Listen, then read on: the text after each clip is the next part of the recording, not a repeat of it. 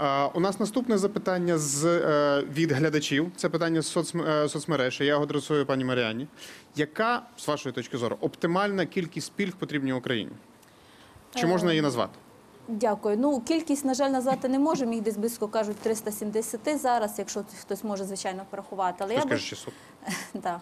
Але я би хотіла насправді відповісти, до мене апелювали, і я би хотіла відповісти, що насправді, якби в ту хвилину вдалося більше вкласти, я би пояснила, що насправді позиція держави якраз повинна полягати в тому, що давати пільги, причому не розділяти їх в залежності від доходу тільки тим категоріям громадян, які справді ризикували життям заради України. Я говорила якраз про тих, що ті, що отримали свої посвідчення незаконно, і є безліч таких махінацій, ви про це знаєте. Тобто тільки про це йшлося мова. От а от щодо кількості пільг, їх повинна бути економічно обґрунтована кількість. Тобто ми не можемо сказати 10, 20 чи 30, ми маємо е, ми можемо сказати тільки, які категорії населення можуть мати пільги від держави, Дякую. які повинні забезпечуватися. Дякую.